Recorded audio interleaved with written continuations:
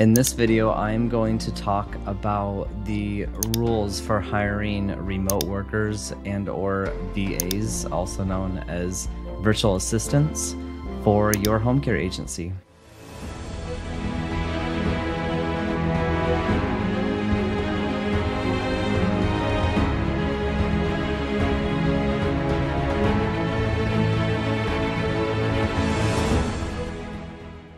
Hello, and my name is Scott McKenzie. I am the founder of a home care agency called Golden Age Companions based in Irvine, California. We've been in business since 2011 and have generated over $8 million of total revenue. I also have founded a company called Home Care Agency Blueprint, which is designed to help you start, scale, and grow your very own home care agency. So let's jump in here. So, when it comes to hiring virtual assistants for your home care agency, there's a couple things to consider when thinking about that. The first thing is kind of like the obvious is do you need this person and or employee VA to be you know obviously local or coming in the office if they don't and they can work remote so think about any of the tasks that can be remote work can be outsourced and this doesn't have to mean they need to be out of the country. They don't need to be necessarily Philippines or Latin America. It could be outsourced to maybe a rural area in the US that is less minimum wage and um, it's just more cost effective for your home care business. You know, I know I'm in a higher income area, so things are very expensive over where I live in Southern California. And it doesn't always make sense to hire somebody down the street here to do something that's on the computer that that person could be you know maybe in the midwest or somewhere that it's just a lot less cost of living. So it's more efficient for your home care agency to hire someone that you can also provide a job to somebody that maybe is in an area where they they don't get access to as as many jobs. So that's how i like to look at this. Um, as far as some guidelines to hire. Now, first, I'll like kind of step back here. When you're looking to hire a remote worker, think about the things that are, can be done remote, and that could be any data entry, anything that's on the computer, uh, web browser, anything that is basically cloud based. And you know, you don't want to. I highly recommend to not have anything that is too sensitive of information. If there is, there's certain uh, platforms and companies that you can hire to hire your remote workers through them. So there's all that liability and risk management and insurances are built in there. So you're not liable if information um, goes astray, type of thing. So it's important to um, think about the things that can be just simple email follow ups, phone call follow ups. You know, you can set up a VoIP phone number um, to basically have that remote worker have a local number and they can make those phone calls.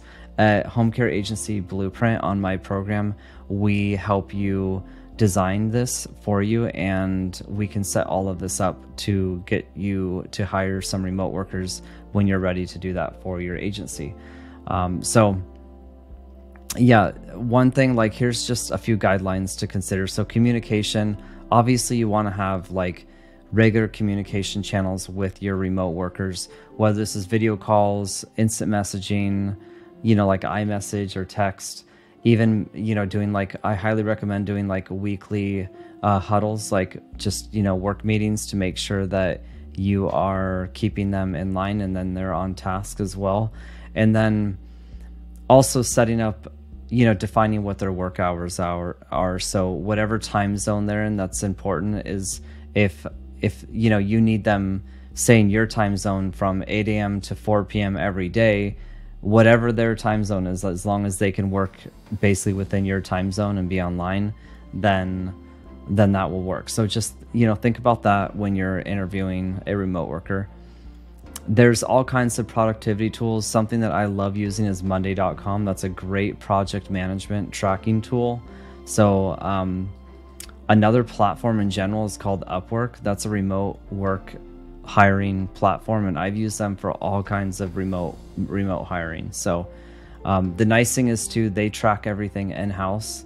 Um, you hire the worker through their platform, and the time records and everything are tracked, and they and it even like takes like screenshots of the person as they're clocked in working for you so you can go back and audit if you would like to see like it's like every 10 seconds or something it takes a screenshot. So they in fact need to be working on what you've asked them to work on.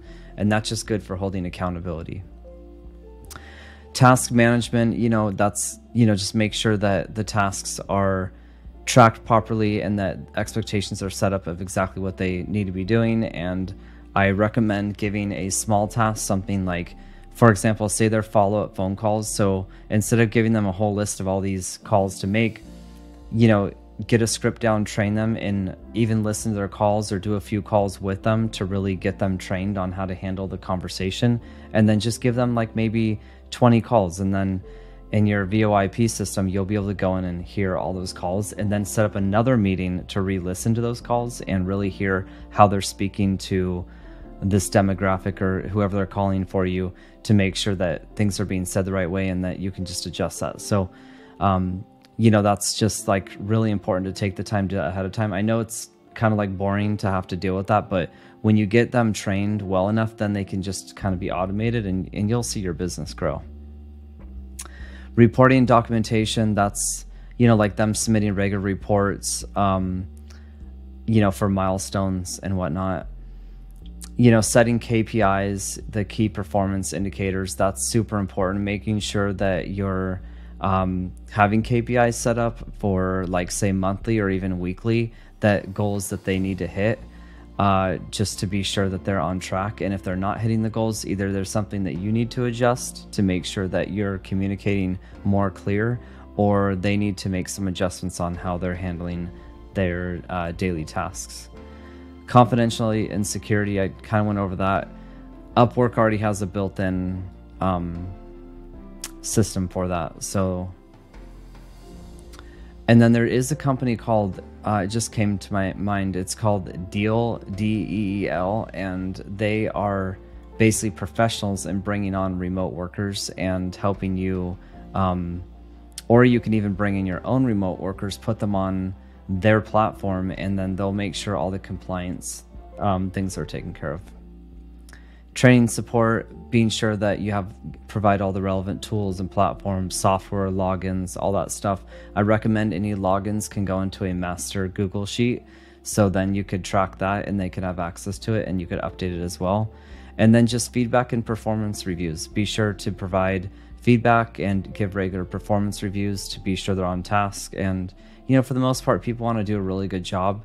So, um, I'm the first to say this. I have kind of like failed at providing proper feedback sometimes or maybe not even having KPIs and then I wonder months later why things the the needle's not moving in in that department of my business or it's worse getting worse in that department. And then I find out later the remote worker didn't really have much direction or and or employee in this case. But yeah, so that's essentially the rules for hiring remote workers. I got a request on doing this. Alrighty, so that is an overview on hiring remote workers for your home care agency. Hope you enjoyed it, and if you feel like you're getting value out of my videos, please like this video and subscribe to my channel to see more of these posts.